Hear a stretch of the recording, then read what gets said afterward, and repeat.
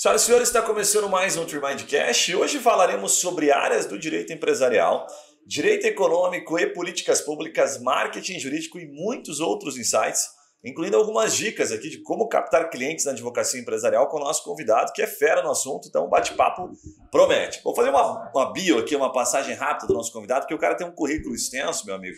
Então, estamos aqui com o Lucas Taylor, ele é doutorando em políticas públicas, mestre em Direito Econômico e Desenvolvimento, associado ao Instituto de Prevenção à Lavagem de Dinheiro e ao Financiamento do Terrorismo. Achei super legal isso aqui. Membro da Comissão de Inovação da OAB Paraná e nas horas vagas, provavelmente como hobby, ele advoga no escritório, né? Rocha Taylor Advocacia e Consultoria, que leva o seu sobrenome. Obrigado pela presença aí, Lucas, por aceitar o nosso convite. Imagina, eu que agradeço. O meu hobby, na verdade, é participar de projetos muito legais como o seu. Quando veio o convite, eu pensei, gente, isso daqui eu não posso recusar desmarca cliente, desmarca reunião, desmarca aula, vamos nesse negócio, porque eu consumo muito podcast, eu assisto muito, então a gente pensa, poxa, será que vai chegar o dia que eu vou ser entrevistado no podcast? E gente chega. Esse dia chega muito e ele é muito legal. Então eu tô muito feliz de estar aqui. Tem como cair, né? O cara PHD em humildade, né? Em, em dialética, né? Ainda não tem essa habilidade do LinkedIn, né? Humildade. Mas também se tivesse ia virar assim uma panaceia que todo mundo ia ter é, né? isso como qualidade. Mas seria legal, né? Seria legal. Você abrir lá e falar, não, esse cara aqui, quais são as qualidades? Ele é cheiroso, esse cara é bem arrumado, bem arrumado. Isso é legal legal. Ia ser legal. Boa, muito boa. bom. O cara não é fraco. Vamos lá. Vamos lá. A gente vai começar direto fazendo perguntas aqui, tá? A primeira pergunta, Lucas, que é bem interessante, porque muita gente pesquisa dessa forma, tá? As pessoas procuram exatamente dessa forma. Áreas do direito para atuar. E a gente crê, né, pela experiência que a gente tem aqui com o nosso público, que sejam é, desde advogados iniciantes, advogados que já iniciaram, né, até os advogados já mais experimentados aí, ou procurando oportunidades ou procurando transições. E você tem especializações em áreas bem específicas, né? talvez não muito comuns. A gente não vê tanto é, advogado que a gente entrevista aqui com especializações como a sua. Então conta pra gente qual foi a sua intenção por trás dessas escolhas, né? E aí o que, que você estava vendo e, como é que você pode, é, enfim, dar um pouco de inspiração para essas pessoas que nos acompanham aí. Claro, essa história é longa, mas eu vou uhum. tentar ser o mais breve possível sem perder o conteúdo que é legal. Eu acredito, eu acho que ao longo da nossa conversa a gente vai ver que uma das filosofias que eu mais gosto de estudar é seguir o caminho do meio, do budismo. O tio, no meio da conversa, vai citar um monte de livro, um monte de conceito filosófico, mas aos pouquinhos eu vou tentar explicar também. Além de advogado, a gente não consegue tirar o lado de professor, né? Mas, como eu sempre gostei do caminho do meio, eu nunca acreditei em extremos. Isso desde política até as práticas da minha vida cotidiana. Então, eu não acho que seria adequado nós pensarmos nas áreas do direito daquela forma tradicional que há 30, 50 anos atrás as pessoas praticavam. Então, eu vou me formar, eu vou para o direito civil, eu vou para o direito penal, eu vou para o direito ambiental. Ainda que o direito ambiental já tem um pouco mais expansão. Então, isso seria uma área muito tradicional, seria um extremo que eu acredito que as coisas já são mais dinâmicas, a gente não consegue mais falar, não, eu só advogo no direito civil e trabalho com inventários pessoas com mais de 65 anos. Não, isso não tem mais. Mas também eu vejo que muitas pessoas se formam e eu tenho também a oportunidade de estar nas universidades, nas faculdades e conversando com alunos que ainda estão tentando se inserir e o mercado do direito já não é tão visível como é para nós, eles ainda estão aprendendo o que é esse mercado, eles também buscam se especializar na página 215 do processo de inventário de uma pessoa de mais de 65 anos. Hum. Então, é. eles já querem trabalhar dentro de uma coisa muito específica, eles já vão moldando isso dentro da faculdade. A gente sabe que no começo da carreira você não tem muita escolha e nem muita oportunidade. Se achar trabalho, tem que agradecer já. Exatamente. E no começo tem que fazer o que tem. Mas também isso vai na filosofia do caminho do meio, porque fazer só o que tem ou sonhar só com o que pode ter. Você vai ter que achar uma coisa ali no meio. Então, em termos de áreas de atuação, para voltar um pouco no começo da nossa conversa, eu acredito que, de fato, a pessoa ela vai ter que se filiar na escolha dela, seja inicial ou de transição, em alguma coisa que já existe. Então, dificilmente você vai conseguir abrir mercado sozinho numa área que você inventou, só que você viu. Tem que ter também um pouco de humildade de saber, tudo bem, eu tenho uma ideia boa, eu tenho um projeto legal, mas eu tenho muito para aprender. Tipo, então, não dá para sair reinventando a roda. Não. Primeiro faz o feijão com arroz para depois escolher alguma coisa. Eu legal. acredito nisso. E tenta aprender com quem já está estabelecido em alguma área. Porque se você for pegar uma pessoa que trabalha numa área tradicional hoje, talvez quando ela começou a trabalhar não era tão tradicional assim, ela foi iniciando esses caminhos. Por exemplo, eu trabalhei com o Dr. Marlos Aires, que é uma das maiores referências em direito criminal, tem um escritório aqui perto, inclusive na Cândida Abreu, em Curitiba, e ele Hoje em dia, trabalho com direito penal econômico, que é uma área super consolidada, é uma área que já nas faculdades as pessoas querem ingressar nisso como uma área estabelecida. Até certamente tradicional, mas a época que ele trabalhava isso não existia. Isso começou a existir nos anos 90, 2000 e ele antes já estava mais ou menos saindo nisso. Então, eu acredito que eu sempre comentava, principalmente quando trabalhava mais com direito penal econômico, que o segredo talvez seja trabalhar com uma área do direito tradicional com algum plus. Então, eu vou para o direito civil, eu vou para o direito penal, até porque ali você já consegue nessa dicotomia ver onde você se encaixa. Se você é melhor em trabalhar com penal, com civil, com trabalho, para quem tem mais estômago, eu sempre brinco, quem tem estômago trabalha com direito criminal, quem tem cabeça trabalha com outra coisa. Porque é uma área muito difícil de se trabalhar, então na faculdade, como você vai ter matérias tradicionais, você já vê onde você se filia. Então eu vou para o penal, eu vou para o civil, eu vou para uma coisa assim.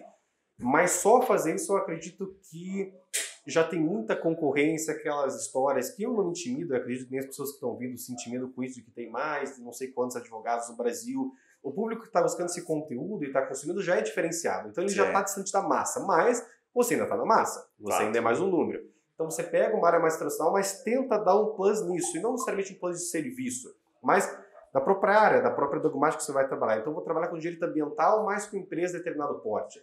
Eu vou trabalhar com direito empresarial, como a gente pode conversar mais para frente, mais com um foco preventivo. Ou eu vou trabalhar com o direito criminal em um foco preventivo, porque eu vejo que os escritórios de advocacia são muito tradicionais. Então, isso já é um problema. Não tem uma visão empresarial, não tem uma visão de marketing jurídico, não tem uma visão é, além daquilo que era a advocacia 50 anos atrás, mas no direito criminal as coisas são mais tradicionais ainda. Hum. Tem que ter um certo tradicionalismo, porque você tem que ter uma certa formalidade para trabalhar com isso. Ser tão descolado no direito criminal às vezes não pega bem. Então eu entendo que as pessoas já começam a se formar de maneira mais engessada, mas ao mesmo tempo você tem que buscar uma renovação dessas áreas, porque você trabalhar só com o dativo na porta do fórum, você trabalhar só com aqueles pequenos crimes que vão vindo na tua mesa, ou até mesmo ter uma atuação tradicional em áreas que são mais rentáveis, você não vai ter destaque, não vai ter muito espaço. Então, eu acredito que encaixar isso de uma área tradicional, mas tentando dar um toque de alguma coisa diferente é um bom caminho, porque. Faz sentido. Eu sempre tive essa postura e você comentou algo que é bem a minha filosofia, de fazer o arroz com feijão. Eu sou muito contrário e por isso que eu brinco que eu sou o tio, né? Porque uhum. eu falo com uma pessoa de 80 anos, eu me visto com uma pessoa de 80 anos. Hoje eu tentei até dar uma roupagem um pouco mais jovem, minha esposa me ajudou, porque eu ia vir em lugar que tá conversando com pessoas jovens. Mas eu tenho uma fala mais tradicional, eu tenho uma criação um pouco mais tradicional e sou um pouco mais formal, mas essa é a minha característica.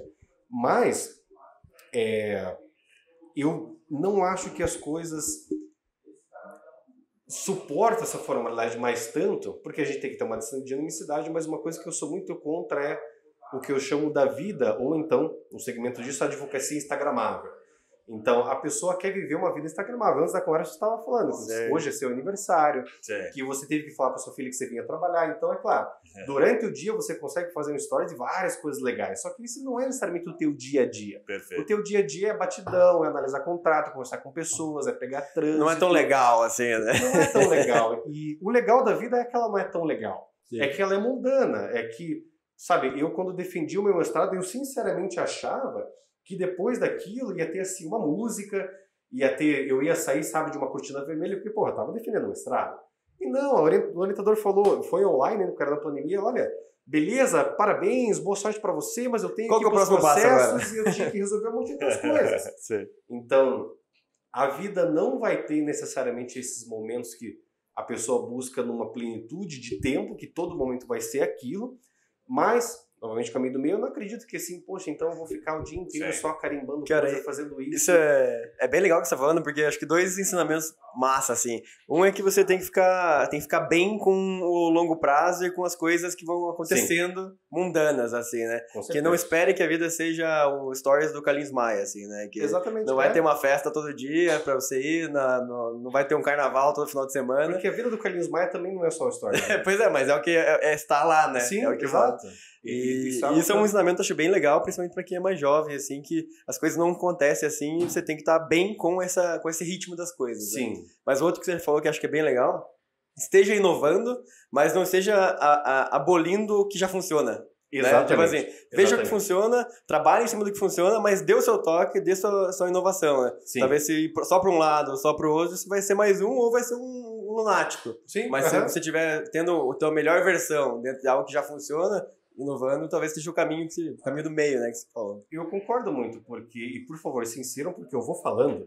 E assim, é uma ladeira abaixo, eu não paro de falar, porque vão provocando os temas na cabeça e a gente acha, todo, todo mundo está falando, acho que está falando legal, né? Então a gente continua.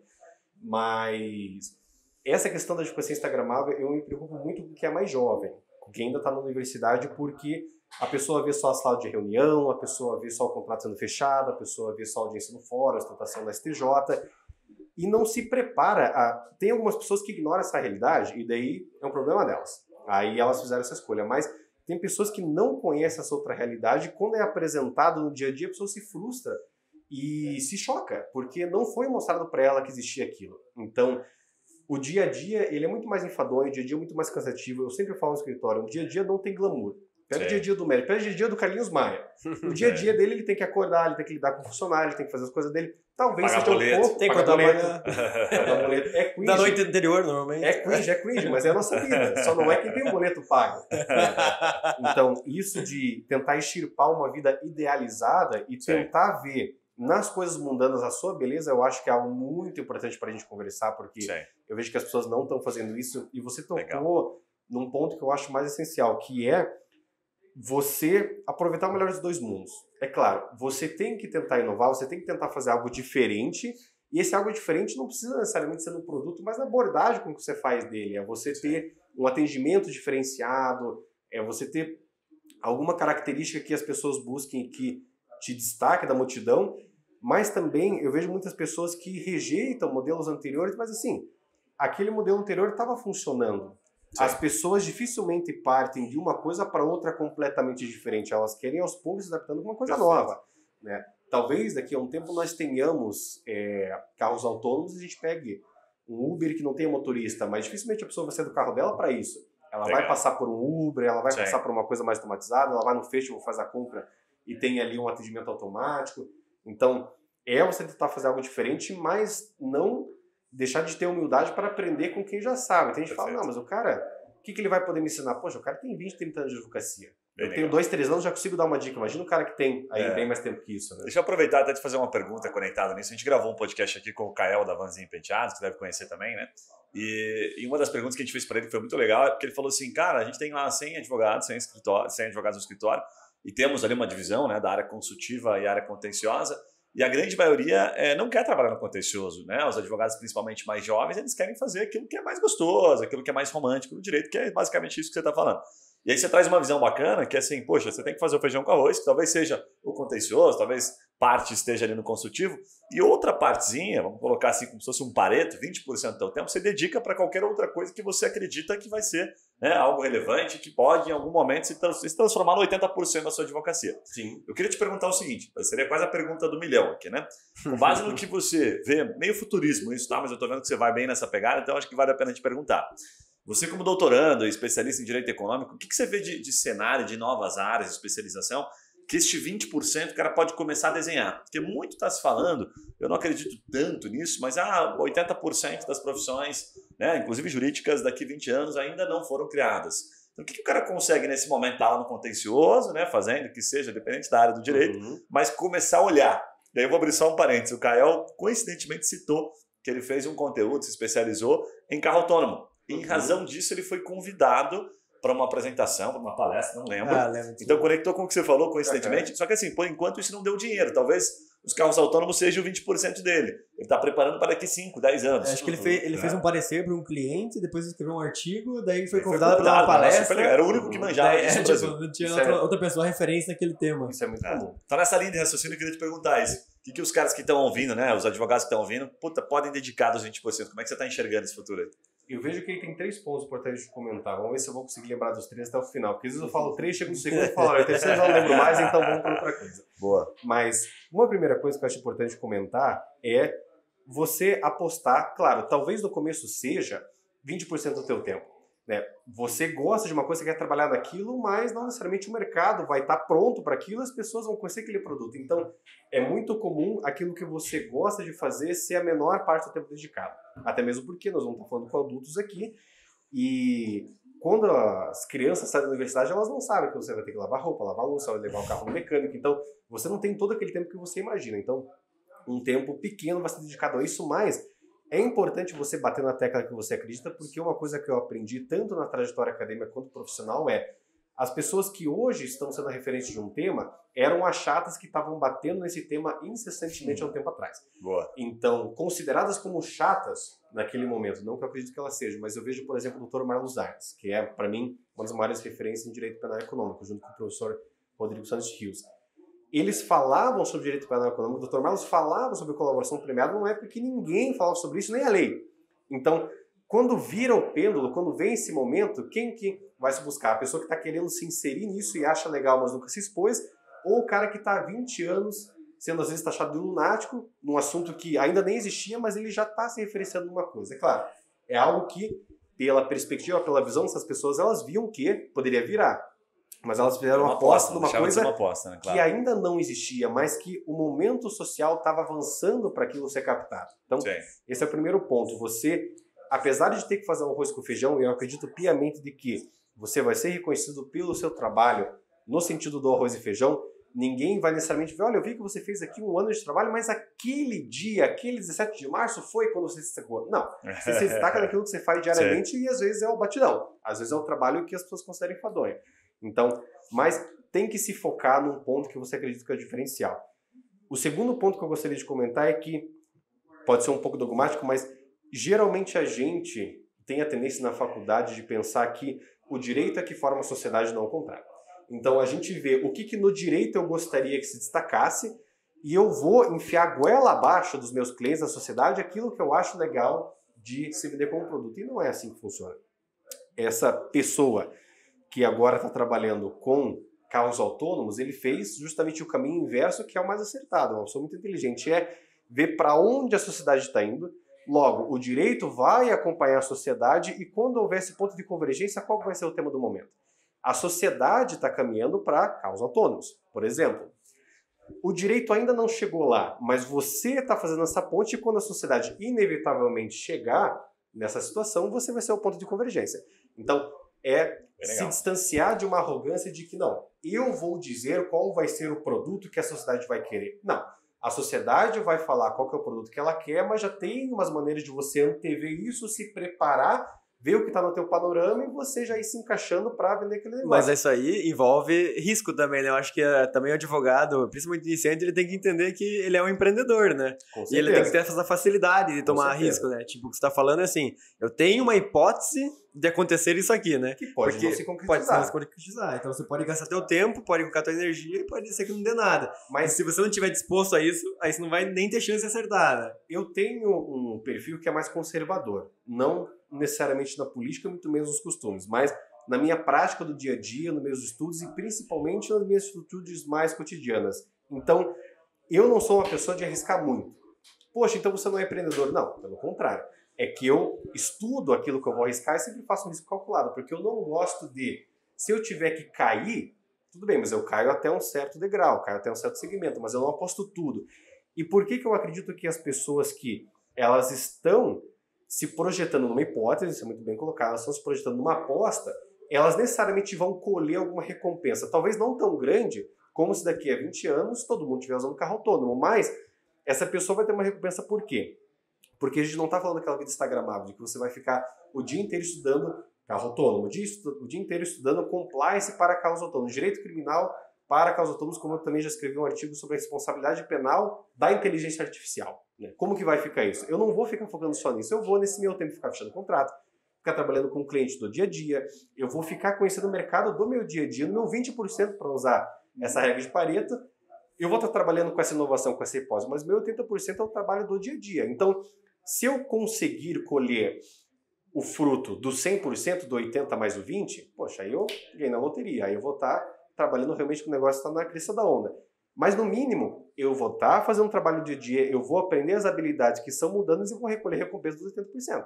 Muito bom, muito bom. Então, eu acho que a gente tem que sim apostar em algumas coisas, mas também não deixar que as pessoas caiam na frustração de apostar absolutamente todas as energias em uma coisa e a partir disso, se esse negócio não virar, porque não depende de você, depende do mundo externo, é um ponto também contra essa cultura de vida instagramável de que o universo vai conspirar para aquilo que eu quero. Não, o universo é uma força caótica, complexa, que você é uma parte e você influencia, mas você não domina. Então pode ser que aquilo que você gosta, que você estude, não vire. Eu estudo um tema que eu acredito que pode ter um potencial de prática no Brasil, que é prevenção ao financiamento do terrorismo, prevenção ao terrorismo, mas pode ser que nunca isso entre na agenda pública.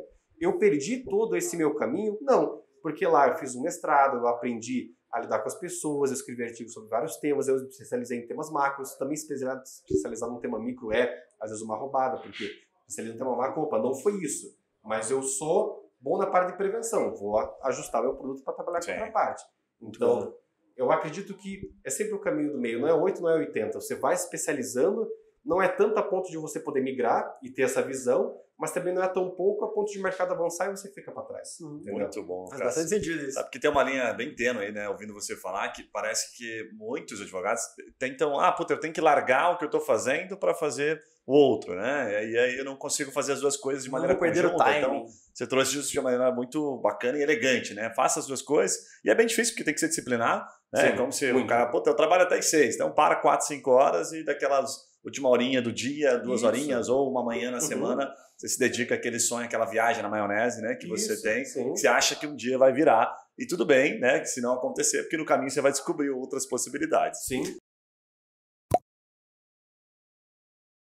Agora, eu vou, vou, fazer o papel do chato aqui de virar um pouco a, a, a, a roda aqui, tá? Para um outro assunto, que a gente vai falar sobre áreas do direito empresarial, porque tem muita gente procurando também sobre isso, tá?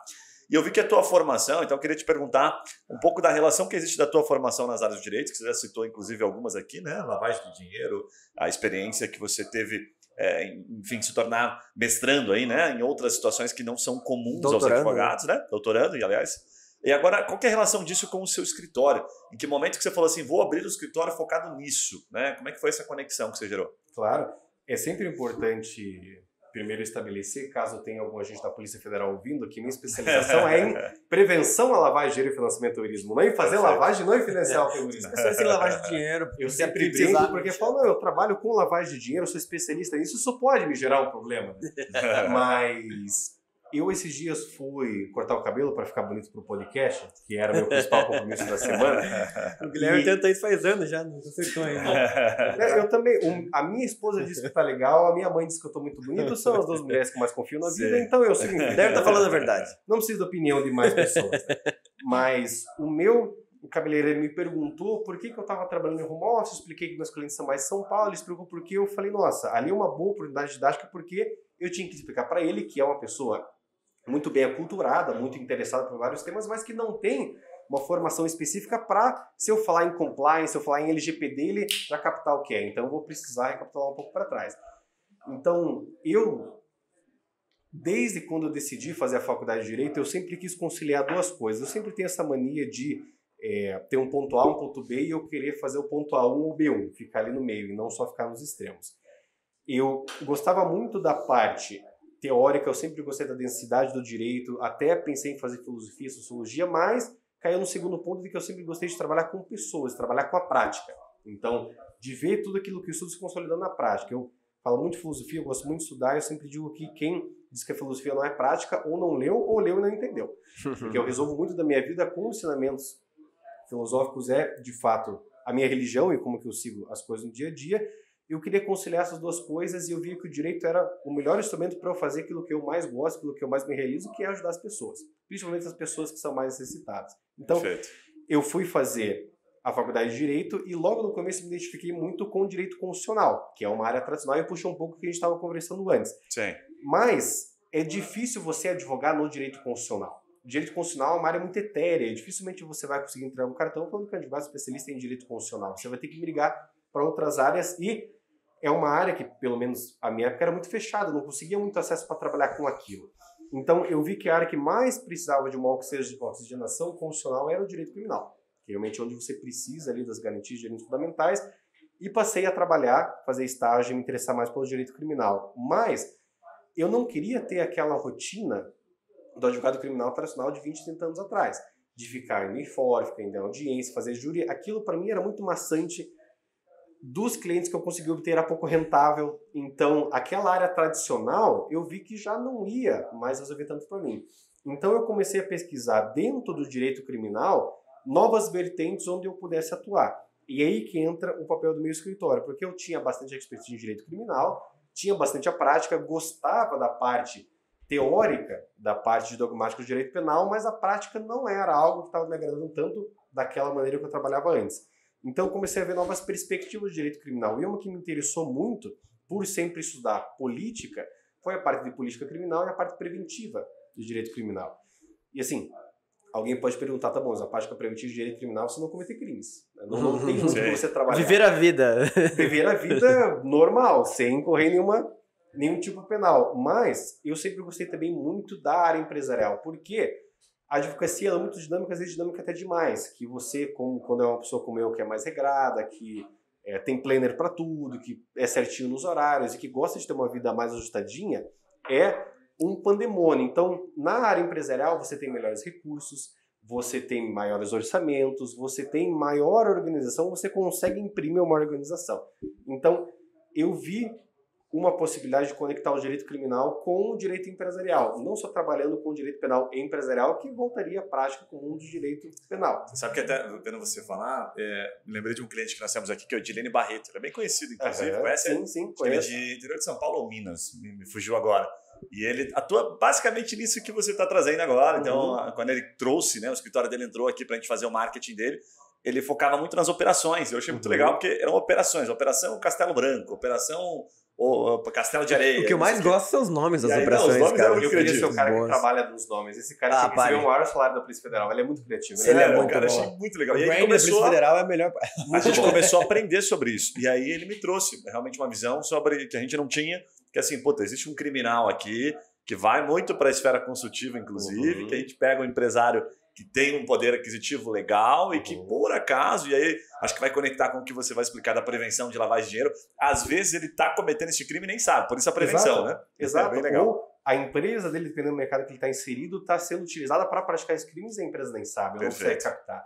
Então, eu entrei em um escritório, que à época eu era estagiário, para assumir uma parte de compliance, mas era um compliance bastante específico. Eu trabalhava também com questões mais amplas, porque compliance Hoje em dia, o compliance você pode comparar com a LGPD, que todo mundo fala, pouca gente sabe o que é. Muito menos pessoas efetivamente fazem aquilo e com qualidade menos ainda. Mas tem uma galera vendendo já o serviço, né? Tem uma galera enorme vendendo. E assim, vendendo a preço de banana porque está tentando fazer um mercado de massa. E pode ter o seu valor, não digo que não, porque algumas coisas podem ser automatizadas, mas o que me interessou nessa área também era que as demandas eram muito particularizadas. É um trabalho muito de boutique. Então, com compliance, que foi com que eu comecei a trabalhar, não tem receita de bolo. Você pode ter uma estrutura geral que mais ou menos você vai seguir para todos os clientes, mas eu vou ter que citar com você e conhecer a sua operação. E eu gosto muito de trabalhar com o chão de fábrica.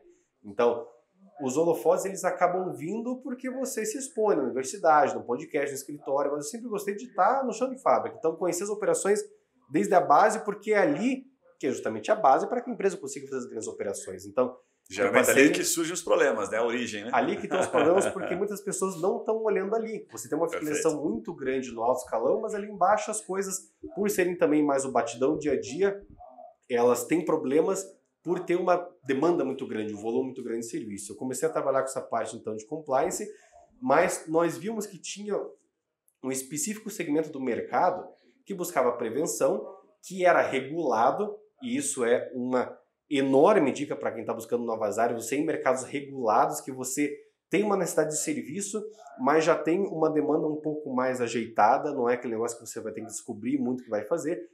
E nós começamos então você a consegue dar um exemplo de mercado regulado?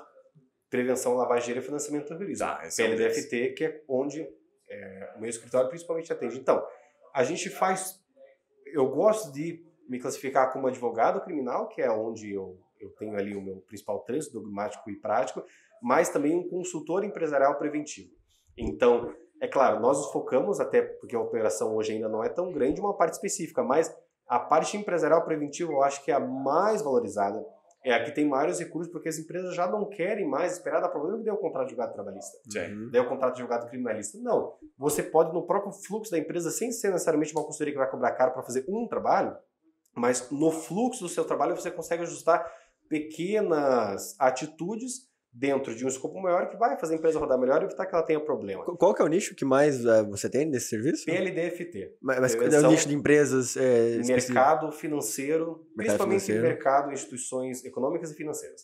Ou mercados que estão sendo regulados por algum órgão regulador forte, como CVM, Banco Central, SUSEP, Uhum. ainda que não esteja tão inserido no mercado financeiro tradicional. Mas a gente trabalha mais com o PLDFT, que é a necessidade de um compliance para se prevenir a lavagem de dinheiro e o financiamento do terrorismo, que Uhum. isso aqui pode ser um papo para o outro dia, que é algo que eu estudo, inclusive academicamente, que não se dá devida atenção, mas também é um problema brasileiro. Então, eu sempre considerei que o Brasil é um paraíso fiscal, para usar a metáfora de lavagem de dinheiro, para financiamento do terrorismo, por quê? Aquilo que você não se preocupa na sua empresa, obviamente você não vai dar atenção, não vai fazer. E vai ser a maior margem, a maior abertura para criminosos poder atacar. Então, isso que você comentou muito acertado. Ou, ou Ah. seja, o amigo assessor de investimento aí, né, daquela assessoria famosa que tá assistindo a gente aí, né, já sabe, você tá sendo vigiado, Tá se você sendo. pisar na, vo- na bola, Tá sendo vamos te vigiado. pegar. E não é uma coisa assim de que o Ministério Público Federal, por exemplo, a Receita Federal, ela tá mapeando algumas empresas, se ela vê alguma, alguma irregularidade, ela vai fazer uma auditoria. Não. O mercado de PLDFT, o ambiente financeiro, ele é regulado por natureza. Então, Sim. você vai ter batidas é, comuns de rotina na sua empresa e se você não tiver preparado com todo um sistema informatizado de pessoal, de condutas atitudinal, não só o código de conduta que você vai colocar no site da sua empresa e falar agora eu estou em conformidade com todo mundo, não. Mas é nos menores procedimentos de atitude dessa empresa você está de acordo com a regulação, que hoje em dia não é mais uma regulação é, que te dá uma receita de bolo. Antigamente era assim que, olha, você tem que ter isso, isso, isso procedimento. Hoje em dia fala, não, você tem que estar regulado. Como? De acordo com o porte da tua empresa, de acordo com o teu Tá um pouco mercado. interpretativo, talvez, né? Está muito aberto, está muito... O que é bom por um delegando. lado, né? A CVM flexibilizou bastante. A gente É tava bom. falando sobre isso esses dias. É bom? Tá muito flexível, mas assim, olha, cabe interpretação bastante em alguns pontos ali, né? E tem uma responsabilidade, uma responsabilidade muito grande. Qual que é o ponto mais importante? É você conhecer a tua empresa e os teus clientes, necessariamente, porque não vão te dar uma receita do que fazer. Vai ser feito de acordo com a tua necessidade. Se você não conhece a tua necessidade, você não conhece onde você Oi, tem que e atuar uma prevenção. curiosidade, Lucas, o, o- com o Open Banking, é, essa questão de lavagem de dinheiro, isso vai ficar melhor ou pior, assim? Porque eu digo, você vai ter muita informação cruzada, você vai ter muita coisa mais aberta, assim, né? Isso ah, aumenta o risco, por acaso? melhor é pior para quem? Para o criminoso, para o empresário, para quem faz consultoria? É, Porque tem gente que ganha, tem gente que pergunta. perde em diversas frentes. É, Eu acho sentido. que o mercado vai ficar mais sujeito a ataques, porque ele está se abrindo. E ataque, eu não estou falando só ataque cibernético, também é uma área que a gente trabalha. A consultoria empresarial preventiva é a prevenção de todos os problemas da empresa. Então você vai fazer uma profilaxia empresarial de maneira ampla, ainda que delegando algumas partes para quem tem mais especialidade, mas a parte de governança corporativa ela tem vários braços, só um, se você é, tiver os outros mancos, você não vai conseguir andar. Mas como o mercado está se abrindo para muitas frentes, os riscos também vão se alargando. Então, se você se abre para o Open Banking, por exemplo, você está abrindo para um mercado que se você não conhecer, não só nas funcionalidades, não só naquelas características que geralmente o empreendedor vê, mas inclusive nos riscos, você vai ter um flanco muito grande que você nem sabe que ele pode vir um ataque. É, pois é. Então, o mercado financeiro está se tornando muito mais conglobado, ele está se tornando muito mais capilarizado, ele está se abrindo para novas populações, para novos ambientes e, consequentemente, para novos riscos. Se você não tiver alguém que entenda desse mercado, tanto da perspectiva que ele pode ter, quanto da prática do que está acontecendo, você pode ser fulminado, porque hoje em dia, além da sanção legal, além da sanção administrativa, além da sanção pecuniária, a pior sanção que uma empresa desse mercado pode receber é reputacional.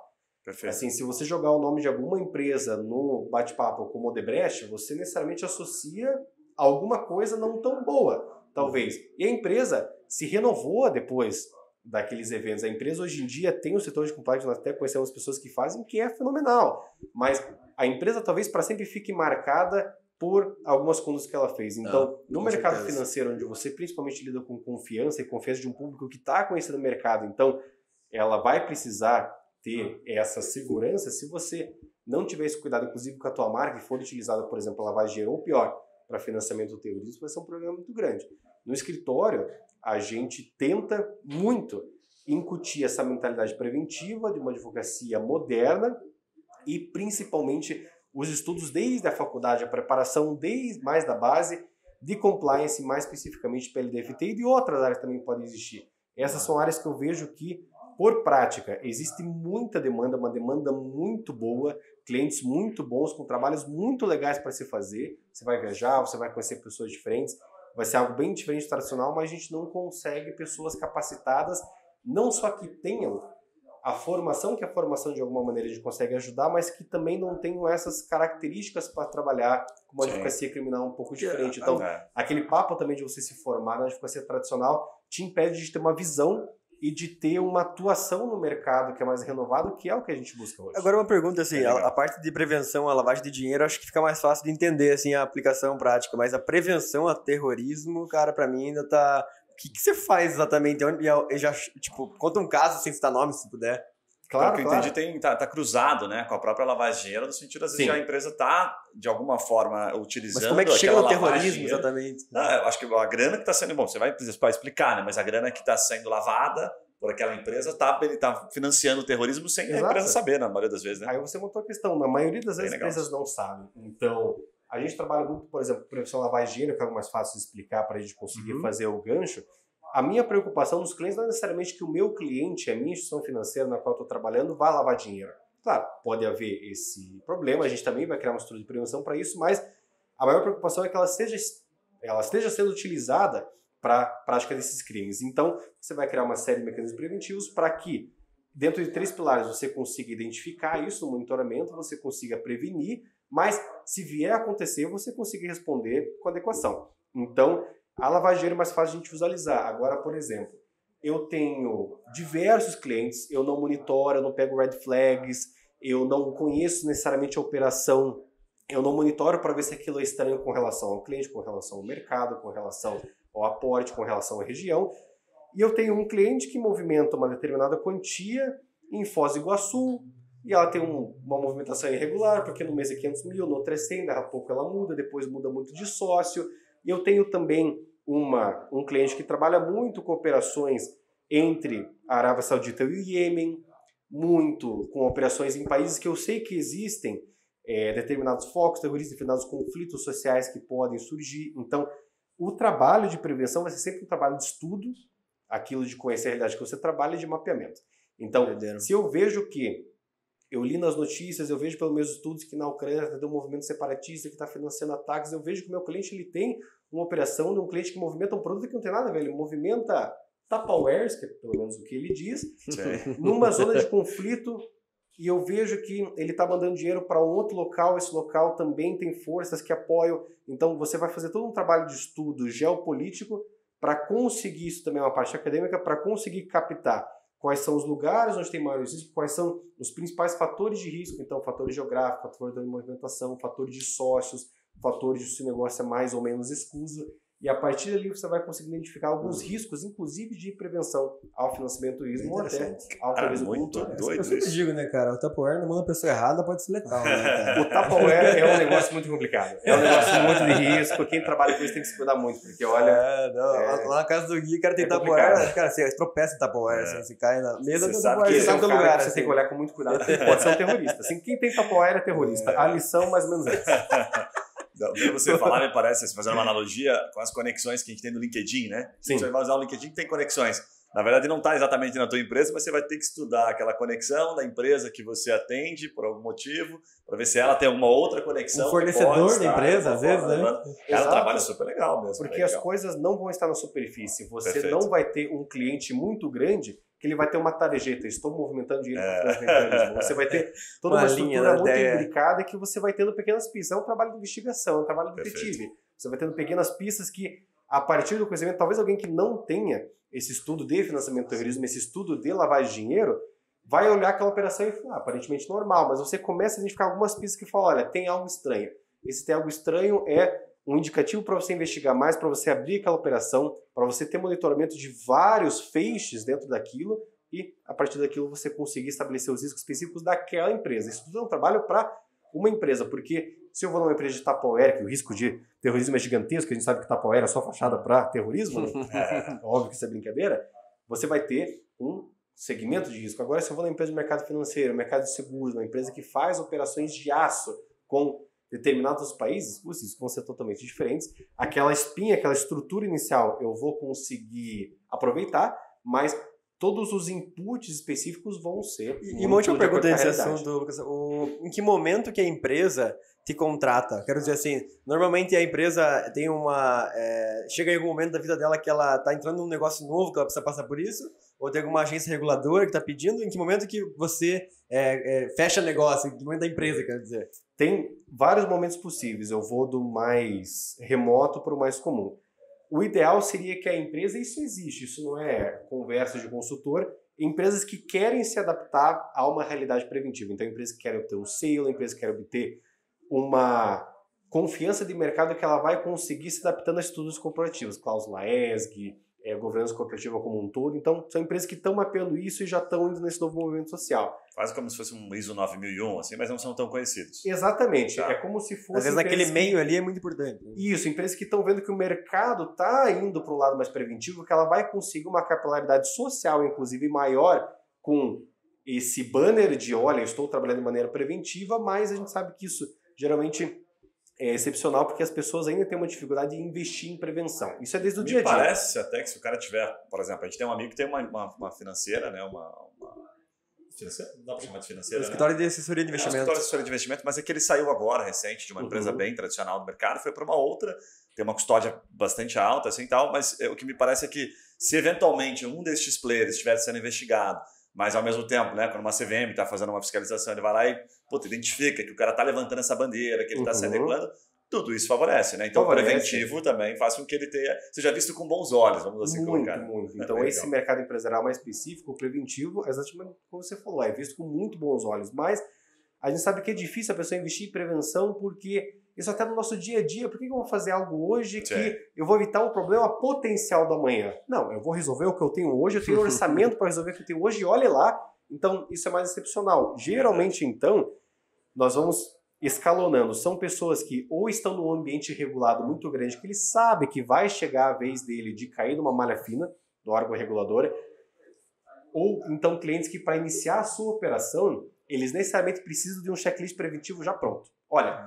Pode ser que eu bata na sua empresa hoje, amanhã, daqui a um ano, daqui a 10 anos ou nunca. Mas, para você começar, você precisa ter esse checklist preventivo já instalado. Aí, é, de uma certa forma, espontâneo, peronomútil, né? Porque você precisa, você tem uma força externa te demandando isso. Ou então, na próxima camada, clientes que estão, né, como eu falei, no mercado regulatório, que eles sabem que em algum momento vai chegar, então eles têm que se preparar para essa demanda, ou clientes que tomaram a famosa canetada. E a gente tem isso muito. De recebi uma carta de apontamento do Banco Central. Olha, eu, eu olhei sua operação, olhei seus sistemas e você não tem esses problemas finalísticos. Não que você tenha um cliente que está lavando dinheiro, um cliente que está financiando, financiando terrorismo, porque daí pode entrar o chapéu da jogada criminal para resolver um problema que já tem. Mas eu estou vendo que você não tem os sistemas preventivos adequados. Então, se você quiser continuar com essa licença, se você quiser continuar nesse mercado, você vai ter que se adaptar. Veja que ele não chegou a ter um problema finalístico, mas ele teve um problema de procedimento. Só um o final de dele é o né? procedimento. Falou, esperto, é. Você eu não vou esperar você ter um problema para falar que você não pode operar. Se você não tiver os procedimentos para prevenir o problema, eu já não te deixo operar. Perfeito. Então isso é muito importante nesse mercado que a gente está falando, porque não é só vou esperar ter um problema para eu me adaptar com conformidade. Não. Se você não tiver a estrutura para se preparar para um problema, evitar que ele ocorra, monitorar o momento que ele pode acontecer, você já nem está nesse mercado. Cara, eu imaginei, eu imaginei o Lucas no dia a dia. Sabe aquele filme O Contador, assim, que o cara é contratado para descobrir um furo no caixa, assim, que o sócio está roubando? Imagina ele lá fazendo conta assim, caralho, tá saindo uma grana feroz aqui, tá indo pro Iêmen essa parada aqui, mano. Isso, Deve isso acontece, divertido. Isso já aconteceu de a gente identificar é, riscos muito altos, mas não necessariamente é para o que nós somos contratados. Você é contratado para fazer um mapeamento geral, de riscos inclusive potenciais, não necessariamente concretizados, mas no meio do caminho você pode achar um furo no casco e falar, olha, com isso daqui, você não vai chegar nem a bater no iceberg, que é o Banco Central. Você já vai afundar antes e o teu mercado já vai te engolir muito antes desse momento. Cara, esse assunto é muito convidativo, é muito bacana ver você falar sobre isso, mas eu, eu vou puxar para um, um terceiro tópico aqui, que muita gente procura também, inclusive no podcast aqui, é bate-papo padrão, assim, a gente sempre faz essa pergunta, sabe? como captar clientes na advocacia empresarial. E eu vou dar um contexto aqui, porque é, para você que está nos ouvindo, nos vendo, né? O Lucas tem um pouquinho mais de dois anos no escritório, é considerado pouco tempo né, na advocacia. Bem pouco tempo. E já se destaca pra caramba. Então, conta um pouquinho aí de, de como você fez para se destacar, se está relacionado a toda essa tua teu embasamento que você está trazendo aqui, né? Como é que você consegue chegar nesses clientes, que é, diga-se de passagem, um dos pontos mais difíceis que os advogados compartilham com a gente. Como é que eu chego numa empresa para vender um preventivo, né? Como você bem colocou agora, de uma situação que ele, puta, não tem verba para investir, como é que eu convenço esse cara? Claro. Eu acho que a gente nunca vai conseguir responder essa pergunta com uma resposta categórica. Olha, dessa Sim. maneira, então compre, assim, compre o meu podcast que a gente vai conseguir te dar a explicação. E quem faz isso tá, se não for no estelionatário, sendo vendedor de sonhos. Quem sabe que as coisas são tão simples. Mas são vários caminhos que eu vi que me levaram a esse ponto. Um deles é fazer o arroz com feijão. Então, por exemplo, esse mercado empresarial contrata-se uma pessoa de fora que já é um pouco de dentro e eu já explico isso mais. Mas você tem que ser a pessoa de dentro primeiro. Então, dificilmente vão sair e vão pegar uma pessoa que está no ambiente muito externo. Vai se pegar alguém que já está mais ou menos nesse ambiente que a empresa está buscando. Então, se você não for uma pessoa que cumpre certinho com suas responsabilidades, que você faz o teu horário de maneira correta, que entrega as coisas com qualidade, que atende bem as pessoas, que responde o WhatsApp de uma maneira cordial, que não manda áudio de mais de cinco minutos, você... Cinco? É. Não, é, Aquele ele corta é um e-mail, tá? As estagiárias do escritório, tadinho, elas falam, olha, chegou o podcast do Dr. Lucas Cedo, porque eu adoro, falo, porque eu dou instruções e assim, a ferramenta do X2 no WhatsApp veio especificamente para elas que mandaram uma carta falando, gente, eu não aguento mais meu chefe, eu preciso aí de uma ferramenta para agilizar o negócio. Mas eu acho que se você não fizer esse arroz com feijão, claro, é, eu também não quero que as pessoas saiam com um currículo e vão direto na empresa X, que é muito bem reconhecida, já querendo vender um produto se elas não têm experiência, se elas já não trabalham no escritório, se elas já não têm ali um estofo das atividades cotidianas, das atividades mundanas. Então, é muito importante fazer esse arroz com feijão. Uma outra coisa que me ajudou muito, que talvez não seja bem o que as pessoas hoje estão buscando mais, que da minha experiência é algo que facilitou, é o estudo acadêmico. Eu sou muito disciplinado e focado no estudo acadêmico, dou aula, atualmente fazendo um doutorado, recentemente concluí o mestrado, e parece algo que quase que antagônico com a prática de advocacia, porque a advocacia é corrida, a advocacia é o agora, a advocacia é fazer um curso rápido para eu conseguir aprender uma coisa e trabalhar com isso amanhã. Mas isso também é um erro, porque, na minha visão, eu posso estar errado, não sou doutor em verdade nesse sentido, mas o direito é uma profissão de longo prazo. É claro, não também quero que as pessoas esperem 10 anos para conseguir pagar as contas em casa. Não, você tem que ir fazendo as coisas para ir estudando agora e para ir estando bem agora. Mas é uma corrida de longuíssimo prazo.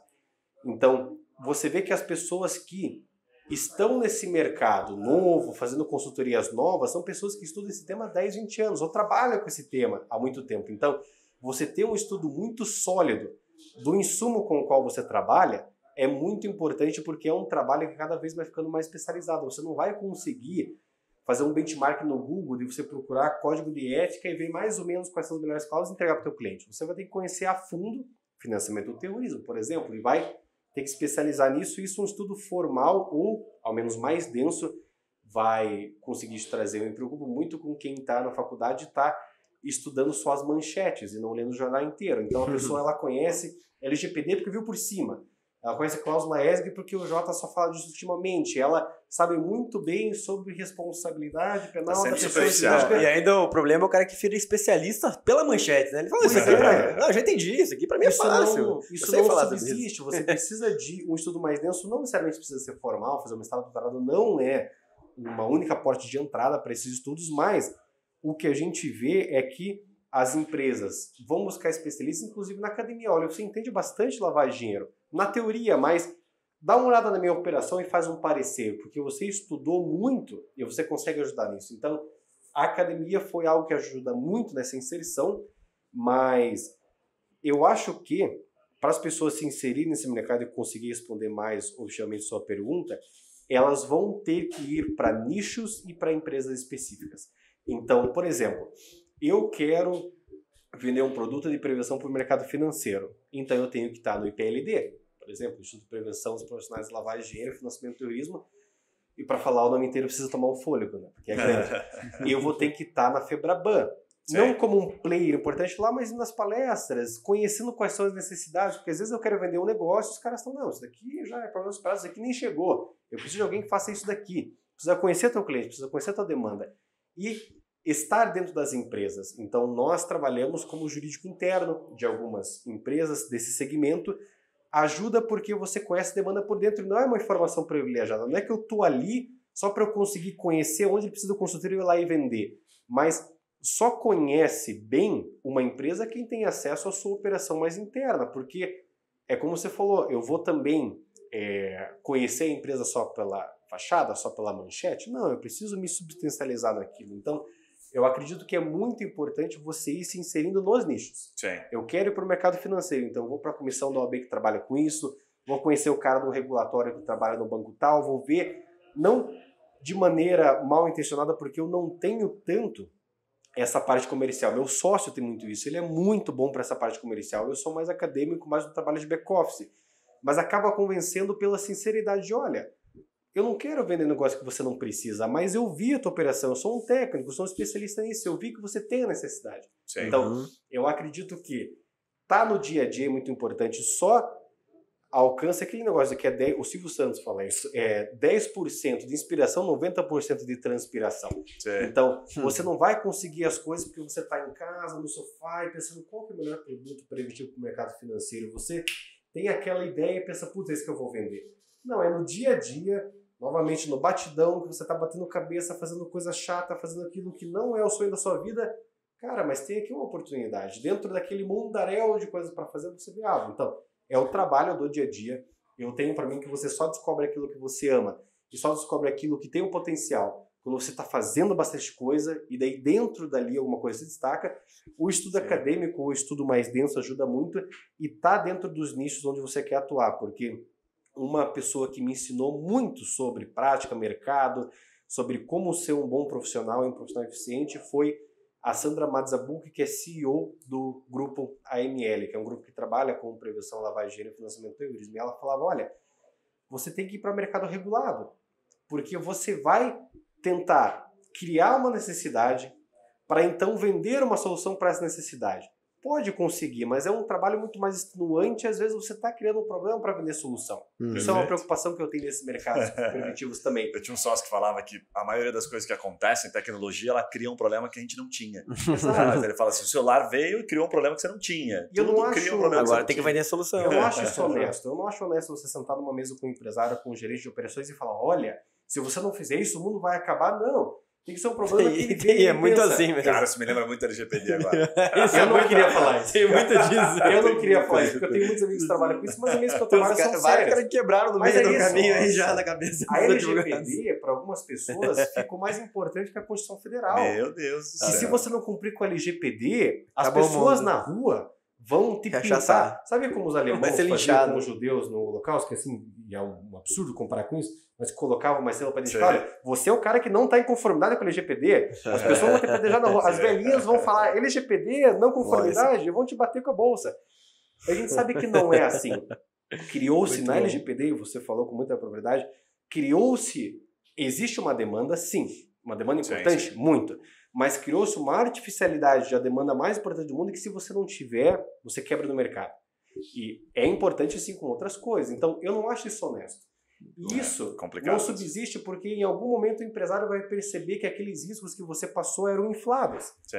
E ele não vai adquirir confiança, você vai conseguir um, dois, três, quatro clientes, depois você vai cair no mercado. Então, ir para mercados regulados que já tem necessidade e você vai estudar e dar a tua particularidade, eu acho que é uma dica Ô, muito Lucas, preciosa. E, e assim, é, quão lucrativo é esse, esse nicho? Eu quero dizer assim, é, porque tem nichos que às vezes é, tem volume, né, e tem trabalho, mas não são lucrativos. Pega assim, um trabalhista, às vezes, você vai trabalhar muito tempo para criar uma carteira, né, muito no sucesso e tal.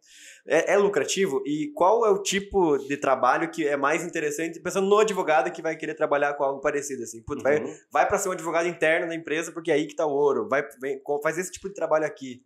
Eu acho que sim, é um mercado bastante lucrativo porque, vamos ser sinceros, é um mercado que tem muito dinheiro, não vai deixar de ter dinheiro. E assim, se o mercado financeiro começar a quebrar, eu vou ter uma preocupação muito maior no sentido de que houve uma desordem social que não está acabando.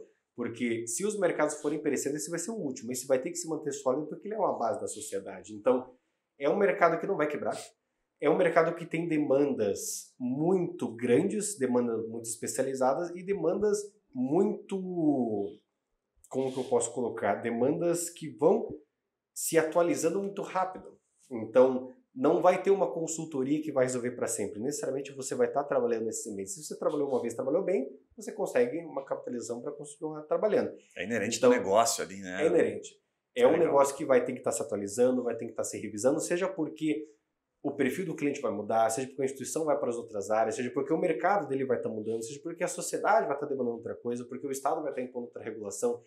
É um mercado muito lucrativo porque ele tem muito dinheiro, os riscos aos quais ele está exposto é muito grande, então ele vai desembolsar uma grande quantia para estar bem aparamentado nessa situação. Então eu não tenho dúvida que é um mercado bastante rentável e em termos de áreas de atuação, olha, eu posso falar daquelas que eu já atuei, que eu atuo e que eu vejo que tem uma certa capilaridade oportunidade para quem está começando, estudando, para quem quer se inserir. Você trabalhar dentro de uma empresa você vai ter a rotina de um jurídico interno, de um advogado como em qualquer outro lugar. Mas você tem como se destacar não fazendo só a resposta a processo contencioso, não só apagando incêndio, que eu não gosto dessa ideia de que o advogado é o bombeiro, é quem apaga incêndio, porque nas empresas que nós trabalhamos com jurídico interno, a gente tenta evitar que o incêndio se alastre. Então, isso já vai ser um diferencial muito grande, porque as pessoas estão só esperando vir a demanda, serem reativas e, no máximo, resolver o problema com uma certa margem de sucesso. Você se antecipar e criar procedimentos para que a empresa nem venha ter problema, no final do ano, o empresário ele reconhece que, olha, tinha tanto problema nessa minha área e de repente não teve mais nada. Então, você consegue um destaque ali. Mas, você trabalhar com consultorias especializadas, não só no preventivo, mas na emissão de pareceres e você fazer uma advocacia, ainda que contenciosa, focando em prevenção de outros problemas, também é um nicho bem interessante, porque Claro, você pode vender consultoria no sentido de, olha, eu tenho aqui uma expertise em fazer PLDFT, eu tenho uma expertise em fazer compliance, direito penal preventivo. Vamos fazer um mapeamento da sua empresa, ver quais pontos podem ser melhorados e a partir disso você segue a sua operação. Uhum.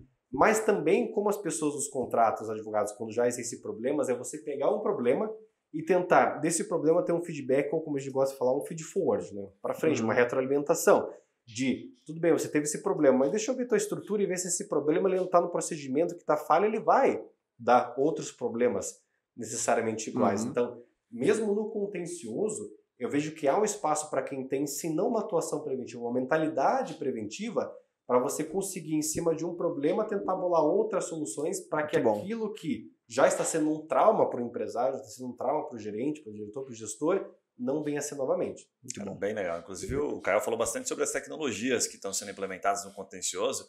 É um assunto bem delicado, né? Porque muitas dessas tecnologias estão tirando o trabalho manual, né? Que uhum. alguns advogados.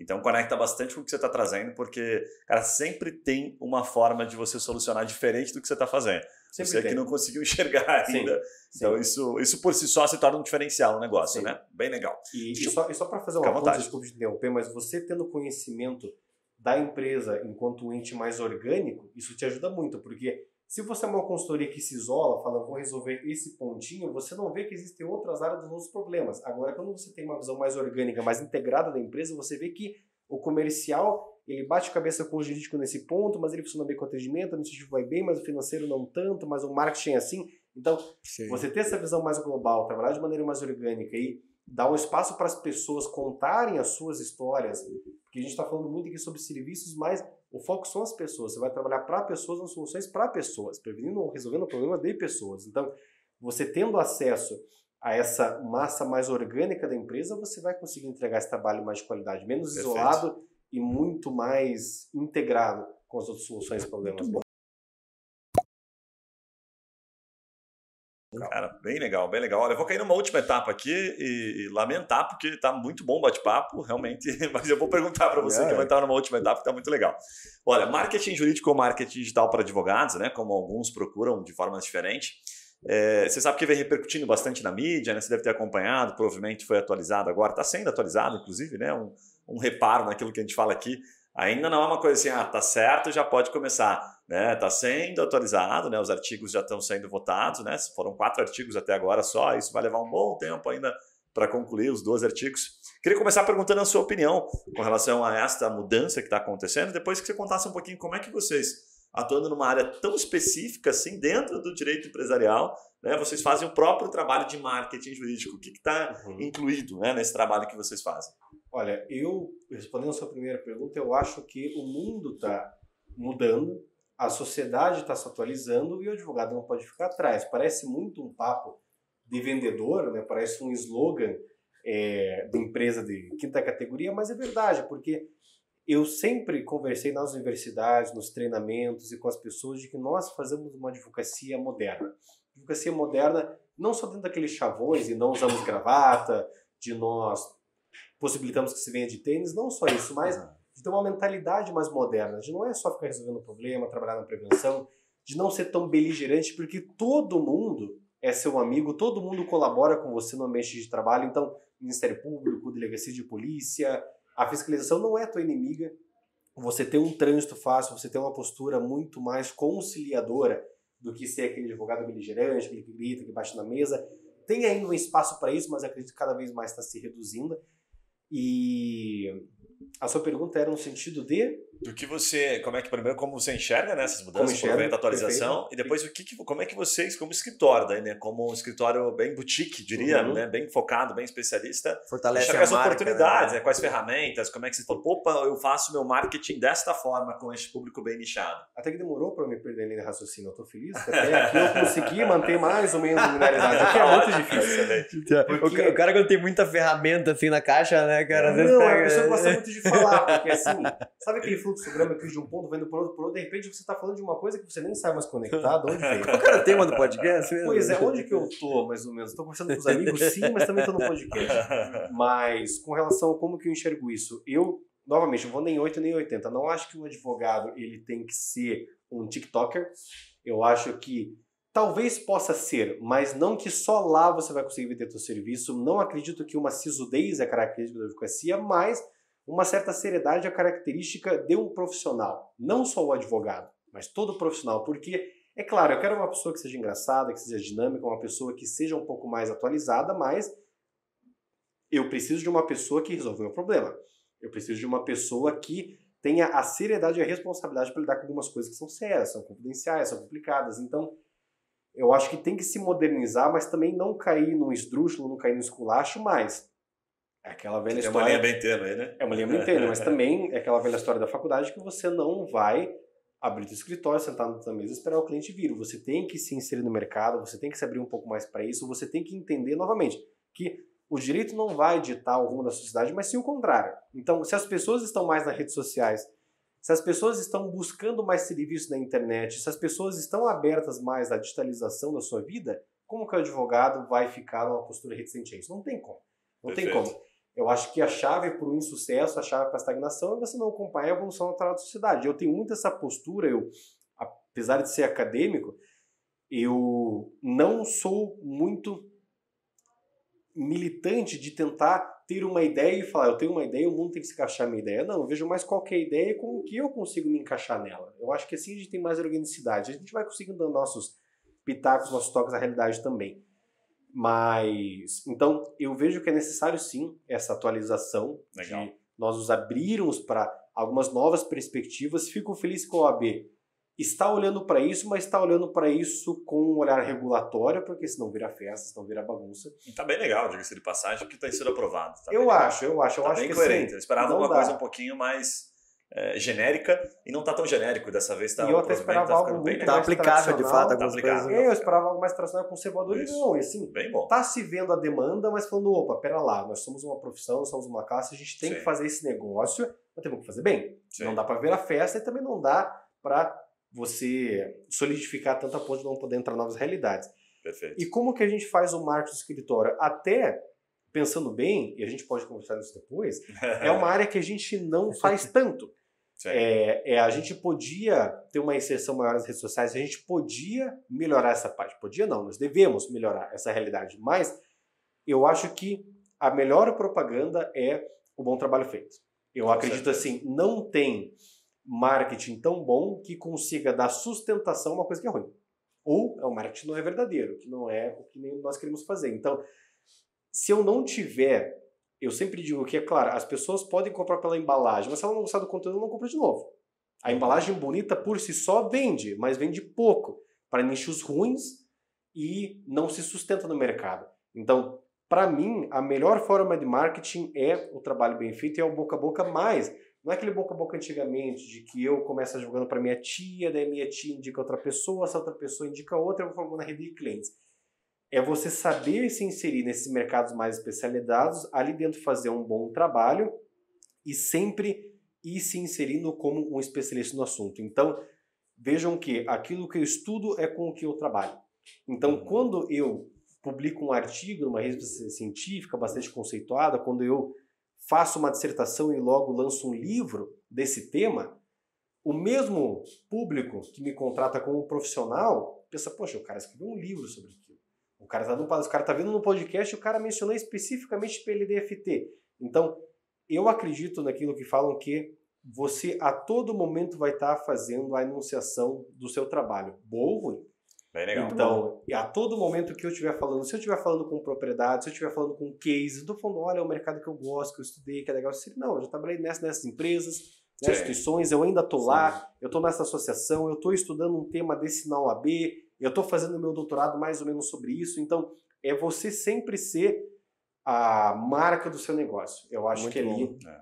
a gente consegue ter um pouco mais de sucesso. Você sabe que tem uma, uma lógica que eu gosto de passar para os advogados, a gente tenta explicar de maneira simples, às vezes, né? Enquanto você, quando você atua no mercado como o teu, né? Que é um mercado extremamente nichado e que, diga-se de passagem, não é um mercado ativo de pesquisa. Né? Então, como você bem colocou, a maior parte dos meus clientes eu trabalho no preventivos, o, o, o empresário não vai na, no Google buscar como né, prevenir Meu a sócio está financiando. Né? E é um mercado fechado, só fazendo um parênteses que você fala, ninguém vai buscar um profissional, um advogado também, mas um profissional de consultoria, de PDFT, de direito penal preventivo na lista amarela, que hoje em dia não existe mais, mas aqui o pessoal eu vejo que tem um pouco mais de idade sabe o que é. Mas ninguém vai buscar no ah, Google. De você. Você João. vai buscar, você vai buscar é, pessoas que já estão. Lembra aquilo que eu falei no começo? Sim. Pessoas que estão fora do mercado, mas estão um pouco dentro. Perfeito. Eu vou buscar um cara que já fez uma consultoria uma vez que eu conheço, eu vou ligar para o diretor da instituição financeira falando desse problema, um cara que está na associação. Então, Sim. você necessariamente vai ter que estar nesse mercado porque é um mercado muito fechado. E é um mercado que não vai pegar um aventureiro de fora, vai pegar alguém que está ali por dentro, claro. No começo ninguém é de dentro. Mas você tem como ir se colocando de repente, poxa, esse cara ele tá como um ator recorrente. Aí você consegue entrar no negócio. É, geralmente em negócios muito, muito nichados, assim Sim. como o seu, a, a, necessidade de brand, né, que a gente fala de marketing institucional, não uhum. marketing ativo, né, como tradicional, que agora a OB vem aprovando para fazer impulsionamento, comprar a palavra-chave no Google, ele ainda é mais, é mais necessário, mais forte do que o outro. Né? Você pegar um mercado mais tradicional, de massa na advocacia, o brand, às vezes a marca pessoal, né, não precisa ser tão forte. Então, o que a gente costuma dizer é, poxa, eu atuo num segmento bem específico. Ela produza conteúdos, artigos acadêmicos, uhum, né, como exato. você vem bem colocando aqui, para que quando ele acesse né, a sua rede, que seja o seu LinkedIn, o seu site, esteja coerente, o seu discurso esteja, sabe, condizente com aquilo que geralmente você fala, o seu posicionamento, né? Porque acontece exato. muito de, por exemplo, a Direne é um cliente que eu citei aqui, né? Ele é um cara que puta, se posiciona e, aparece é, com bastante frequência na mídia, mas quando você entrava nas mídias dele, não mais agora, porque agora tem todo esse trabalho construído, no site dele, por exemplo, não tinha aquela continuidade, é um princípio uhum. de continuidade.